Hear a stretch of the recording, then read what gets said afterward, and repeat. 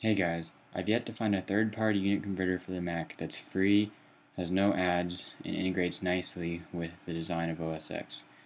My favorite program I found was mconvert.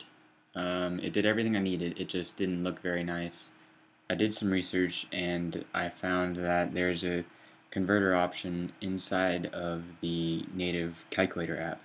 Alright, so now that that's open, let me go ahead and zero it. Um, you'll see up here that there's a convert option and it can do many different types of conversions. Um, I'm going to go ahead and do a common one.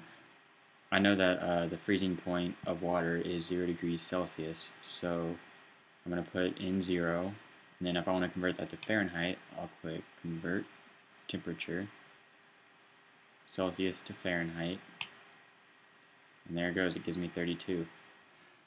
Um, there's all sorts of things, you can experiment with those. But one that I found particularly cool is currency.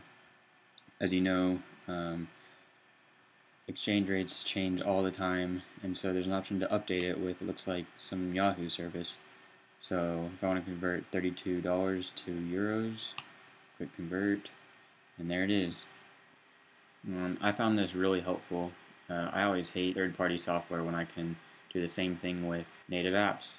Hopefully you learned something from this video and it might just save you from having to buy some third-party software. Thanks for watching.